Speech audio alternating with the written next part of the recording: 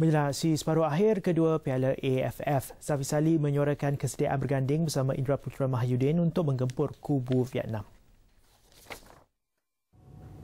Pengendali kebangsaan Dola Saleh tampak mencuba beberapa kombinasi baru ketika sesi latihan pada Selasa.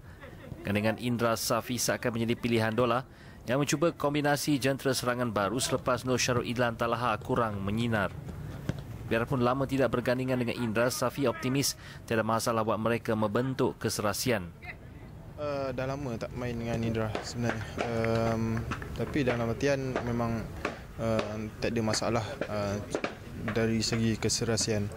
Um, InsyaAllah um, jika itu coach uh, mau lakukan, kami akan lakukan yang um, sebaik mungkin. Lah.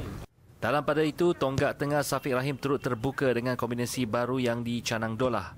Bagi Safiq, apa yang penting ialah skuad negara memerlukan jaringan awal untuk melakar kejutan ke atas Vietnam di laman sendiri.